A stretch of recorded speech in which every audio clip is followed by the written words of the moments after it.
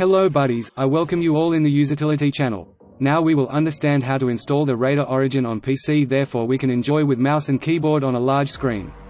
No need to keep your eyes on tiny display but it's the time to relax and play Raider Origin on PC.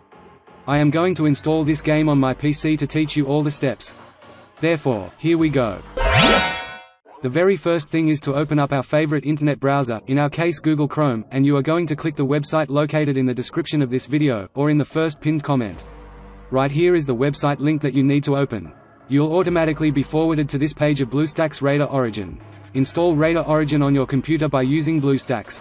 BlueStacks is an awesome software to download and install virtually any Android game even on a big screen. Go to the option, Download Raider Origin for PC in order to download this game, the download is finished, this is the file. We click on this file to start it. If agreement or terms show on the screen then you'll definitely need to enter yes and accept them. In order to check out Game Installer, it's advised to minimize the browser like this. We can set up the directory where to install this game. Directory can be picked by just visiting Customize Installation. We just leave it as it is, we press back, and then we select the Install Now option. It is going to just take a few MBs from the storage of your computer to download this specific file. The download of game depends upon the internet speed. Installing the emulator starts automatically. The installation is finished. As BlueStacks is installed first time, therefore it is gonna take some time to start. The next task is very important. As a way to get access to Google Play, click on Sign In. For sign in to Google Play, you'll have to enter email as well as password. You cannot still install this game without sign in because it is a Google Play game.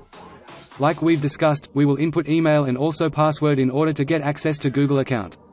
We have now logged into it, and it welcomes us.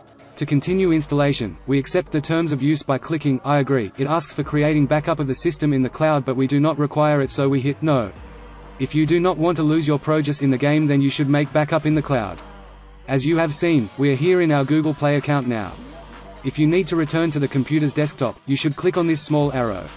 Before carrying on, examine the two icons it has made here, BlueStacks and also BlueStacks Multi-Instance.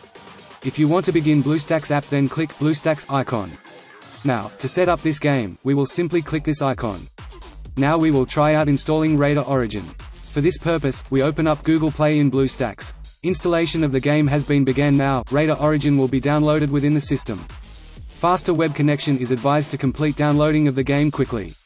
Thus, it is now done downloading, and as you can observe, it has now provided an additional icon on the desktop, Raider Origin, that will let us connect to the game without needing to open the BlueStacks. Each time when you would like to play the game, double-click Raider Origin icon on your computer's desktop.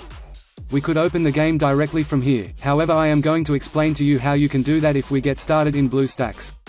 Simply click here to begin Raider Origin and have fun. You can even make changes in the keyboard configurations from this point. We will leave it at the default, we close it. You'd of course enjoy playing Raider Origin even on a big screen. If so you'll then get large screen in two ways. By pressing here on maximize bar, the screen will be enhanced. Anyway, the screen will not get 100% large. Either you would like to go into the full screen mode or perhaps go to normal mode, you should click F11. After you will start playing the game in the full screen mode, you will be able to better focus on the game. There isn't any doubt that playing a game in an emulator uses a lot of power hence the overall performance depends upon the power of your computer. Would like to know how you can change the game language? Let's explore it. To alter the game language, select this cogwheel and hit on Preferences. This drop-down menu will display several languages out of which you can pick any specific language. We have finally changed the game language, C. The game is finally installed. It is ready to play. If this video tutorial was helpful for you then subscribe to Usitility channel and we will be back with new videos. I hope you enjoyed this video tutorial and we will bring a lot more useful videos for all of you. Bye.